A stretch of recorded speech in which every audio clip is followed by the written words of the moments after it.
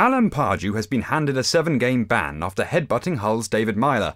The first three of those matches will ban the Newcastle United boss from the stadium. But just because he's banned from the pitch side doesn't mean he's banned from the city. Here are some things Alan Pardew could do during his ban. Take a bus and soak up the sights. Look, there he is.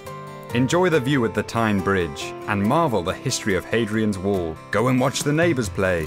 Oh, careful, Alan. Take a photo with the Angel of the North. Looking good, Alan. Looking good. Shop in Sports Direct.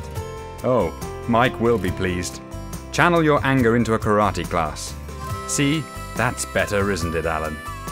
What we're going to do today is we're going to speak to some very gullible Chelsea fans and we're going to talk about players that potentially could be coming into the club, but those players don't exist. We're going to have fun with Chelsea fans down at the bridge.